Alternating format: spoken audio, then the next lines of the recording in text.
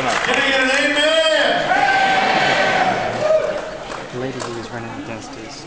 There is a battle going on in this country.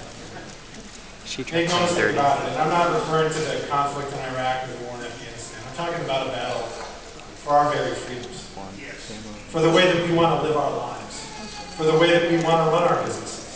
And will the federal government leave us alone and let us worship the Almighty to the dictates of our own conscience? That's why we need good people to come to conventions. That's why we need good people to run for office. That's why good people that run for office need good folks to help them win. We need to do this, and I think what'll save this country is conservative populism. Knocking on those doors. I cannot tell you how many times over the last, Barely. should have been six and turned into nine months, when I, I have on running for state rep. You know what? I've lived here 14 years and no one's ever City councilmen, uh, get for men and women that are on ISDs, you know, run candidates. Everyone needs to knock on doors if you can. We need to get out there and, and do this because why is California? Why did they receive any new congressional seats in 10 years?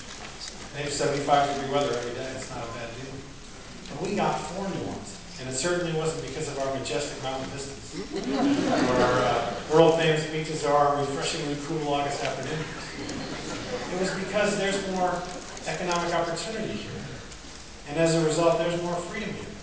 So we have a very unique opportunity, and we always you tend to hear this now in 2010. It was the most important election of our lifetime.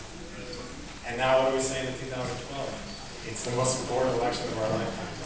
Uh, but, okay. Well, thank you.